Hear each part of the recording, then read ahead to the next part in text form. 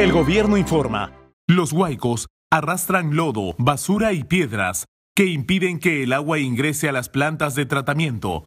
Por eso estamos trabajando para eliminar los residuos y que el agua potable llegue a las casas. Mantengamos la calma y usemos responsablemente el agua que tenemos. Es momento de estar unidos como una sola fuerza. Gobierno del Perú, trabajando para todos los peruanos.